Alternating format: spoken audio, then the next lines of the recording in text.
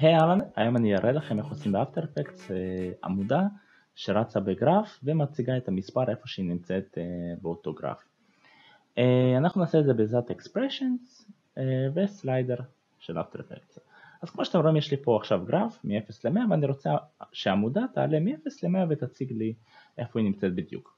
אז אנחנו ניקח layer, ניקח כל צבע שאנחנו נבחר, נלך נגיד על צהוב ונצייר את השייפ מ-0 עד ל-100.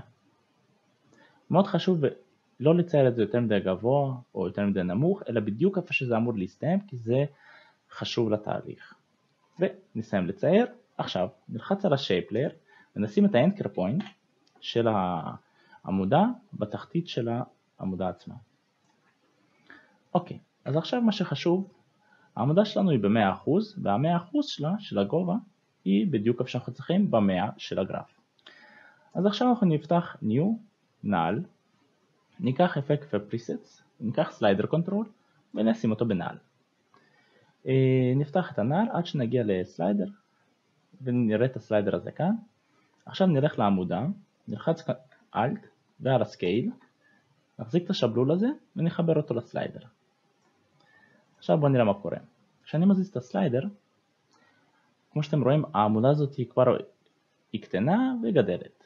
אבל הבעיה שכאילו היא גם נהיית, אה, היא משמינה ואנחנו לא רוצים שהיא תשמין, אנחנו רק רוצים שהיא תגבה אז מה שאנחנו נעשה זה אנחנו נלך ל shape layer וב expression שכתב לנו אוטומטית After Effect כשחיברנו בעזרת שבלול את ה shape ל slider נוצר לנו סוגריים מרובעים וכתוב temp פסיק temp temp שמאלי זה ציר ה-x, temp ימיני זה ציר ה-y ה size של העמודה מה שאנחנו נעשה את הציר ה-x אנחנו נעשה 100% תמידי, שהוא תמיד יהיה 100% ולא ישתנה, ונשאיר את הציר ה-y בתור temp, כדי שבעזרת ה slider אנחנו נשנה ונשלוט בו בגובה שלו. אז כמו שאתם רואים עכשיו אז הגובה שלו משתנה והוא לא מרזה ולא משמין. עכשיו אנחנו רוצים שיהיה מספר שמציג לנו בדיוק איפה העמודה עכשיו נמצאת. נכתוב 100, לא מחייב לכתוב 100, אפשר לכתוב כל דבר.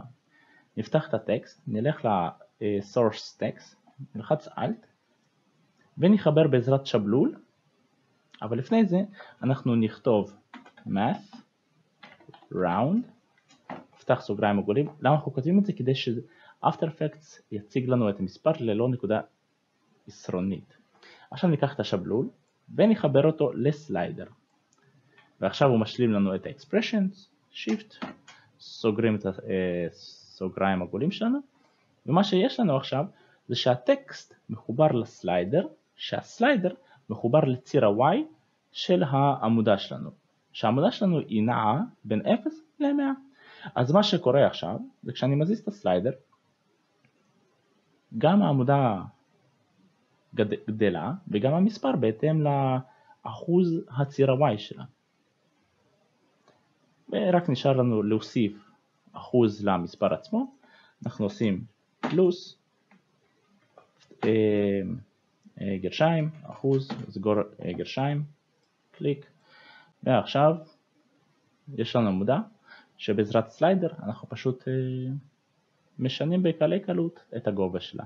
אם אתם תרצו לעשות עוד כאלו עמודות, אתם חוזרים על אותו תהליך פשוט ויהיה לכם גרף חצי אוטומטי, שלא תצטרכו כל פעם לעשות ידני ולשנות את ה-key frames, אלא בקלי קלות. נגיד אתם רוצים שהגרף הזה יגדל מ-0 ל-100, אתם לוחצים על השעון עצר של סליידר, הולכים כמה שניות קדימה, שמים אותו ל-100, ויש לכם עכשיו גרף שגדל מ-0 ל-100. מקווה שנהנתם, וחג שמח.